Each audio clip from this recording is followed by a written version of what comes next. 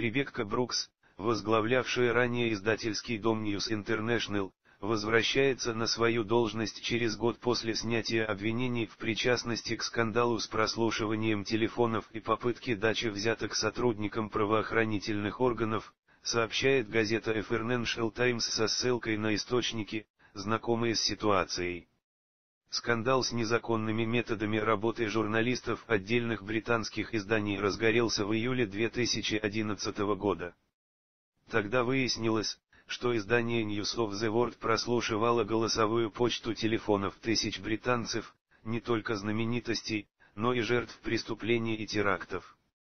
Также папарацци нанимали частных детективов и подкупали сотрудников полиции, чтобы получить сенсационную информацию. Газета отмечает, что официальное назначение Брукс может состояться уже в начале сентября этого года. Ее назначение станет элементом кадровых перестановок в издательстве, которые включают уход с поста исполнительного директора News UK, а также назначение нового главного редактора издания Сон, основным претендентом на эту должность называют заместителя главного редактора Daily Mail Тони Галахера.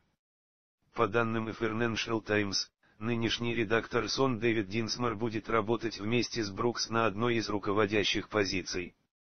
Ребекка Брукс ушла с поста 4 года назад в связи со скандалом и арестом, однако, как пишет газета, никто не сомневался в ее возвращении на должность после того, как все обвинения были сняты с нее в 2014 году.